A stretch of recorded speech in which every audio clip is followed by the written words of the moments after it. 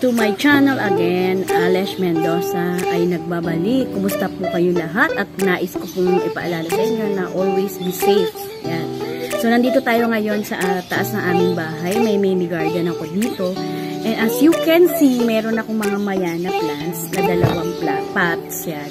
Nakita ko sila kasi medyo mahaba na yung mga stem. So, dapat ang pagpa-propagate ng mayana, hindi yung pataas kundi palago.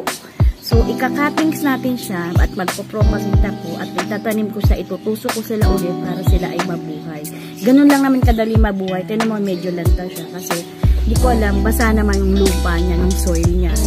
Pero, ang tubo niya is masyadong pataas. So, kailangan kong itusok-tusok sila uli para sila ay lumapong o kumapal. So, yun ang gagawin natin this time. Tinan mo siya, oh, masyado na siya. Mag uh, magkakating sayo ng mga stem ng mayana and itutusok-tusok na lang natin siya. Papakita ko lang sa inyo kung paano ko sila ginagawa. Keep on watching guys!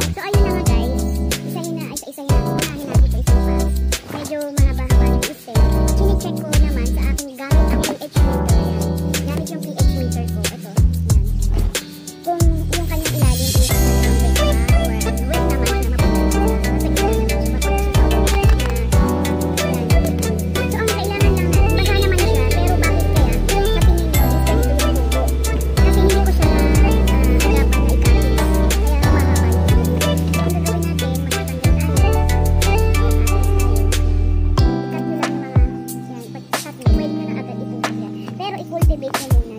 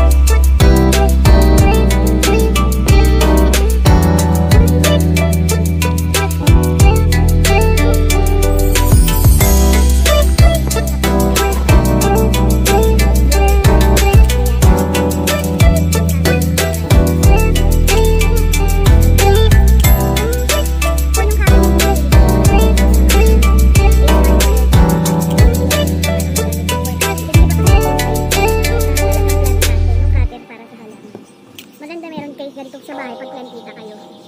And I use this para dito sa mga plants. So, kailangan natin basain kasi parang dry.